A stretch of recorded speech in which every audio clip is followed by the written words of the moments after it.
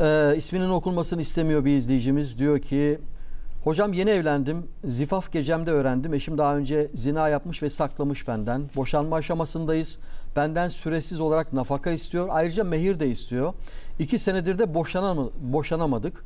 Ee, dinen bunların verilmesi hak mıdır? Ne yapmak lazım? O hanım bir kere mehir haktır, mehri alır. Nafaka Mehir haktır diyorsunuz. me, tabii mehir alır. Nafakaya gelince e, boşanıncaya kadar yani boşanma süresinde nafakayı da alır. Nafakayı da alır boşanma süresince. Ama e, dinimizde nedir?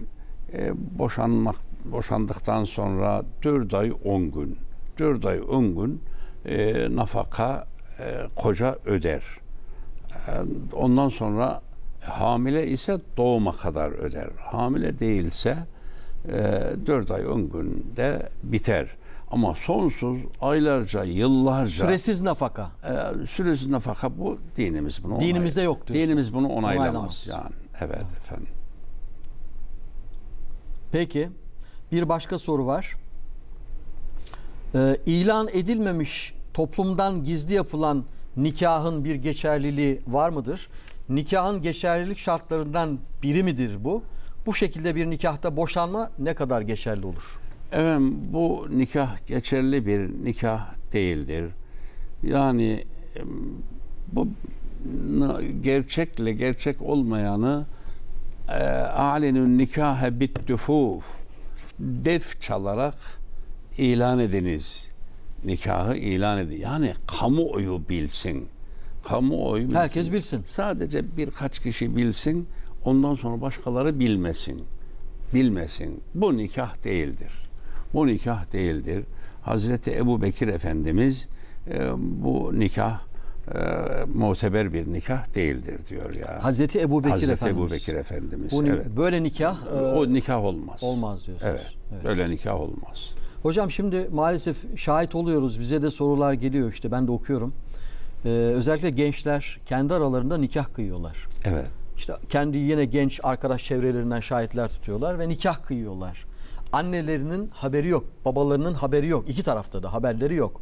E ne olacak şimdi hocam? Bu gençlere neler söylersiniz? Bu, bu gençlere şunu söylemek, yaşadığım benim hatıra bakın müftülüğüm zamanında biri geldi, bir kızımız geldi, iki gözü çeşme.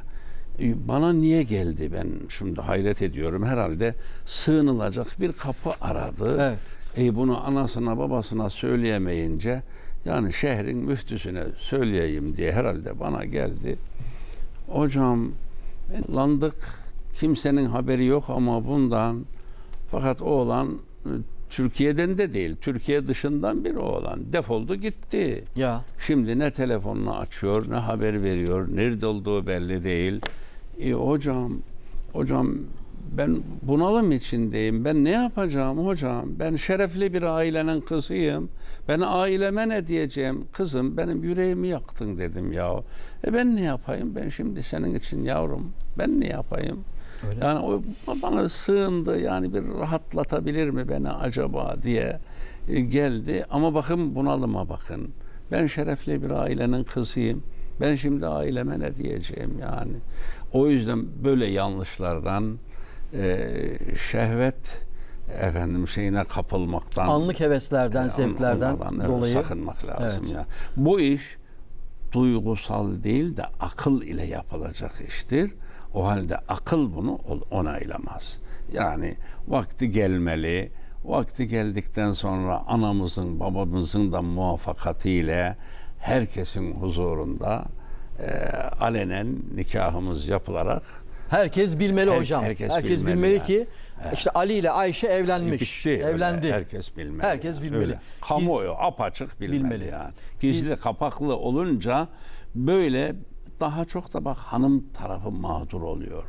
Erkek lüzumunda kaybolup Tabii, gidiyor. mağdur defolup olan gidiyor. hanımlar Tabii, oluyor tabii, hocam. tabii. Kadınlar mağdur Öyle oluyor. evet. E, Siz de şahit oluyorsunuz, izleyicilerimiz de şahit oluyor. Ondan sonra da ya işte e, nikah kıydı, sonradan evli olduğunu öğrendim. Dini Ya. nikahla e, evlenmiştik. Şimdi mağdurum diyor Öyle öyle. maalesef. Peki devam edelim. Bir başka soru daha var. Erdal Bey diyor ki hocam insanın kaderi doğduğu gün mü doğmadan önce mi belli olur? Yoksa Berat Kandili gecesinde mi belli olur? Berat Kandili bildiğiniz gibi o sene doğacak, vefat edecek kişilerin başınıza gelecek olay, hal ve durumların yazılacağı gecedir. Yoksa insan kendi kaderini dünyada yaptıkları iyi ya da kötü hal ve davranışlarla kendisi mi belirler? Efendim Rabbimiz vaktinden önce olacak şeyleri bilmesine kader diyoruz. Vaktinden önce demek olacak şeyleri bilmesine kader diyoruz. Ee, bize ise Allah akıl vermiş, irade vermiş. Ee, hayır yoluna gidersem ona razı, onu da yaratıyor. Şer yoluna gidersem ona razı değil ama onu da yaratıyor. Ee, o yüzden ben ne yapayım ya benim kaderimde bu varmış.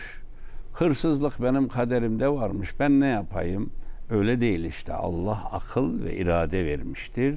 Aklımı, irademi hayır yolda kullanmalıyım. Ve elimden bir şey gelmez. Aklımda benim alın yazım böyleymiş. Bu muhakkak olacak diyerek kendimizi sorumsuz hale getiremeyiz. Evet. Evet.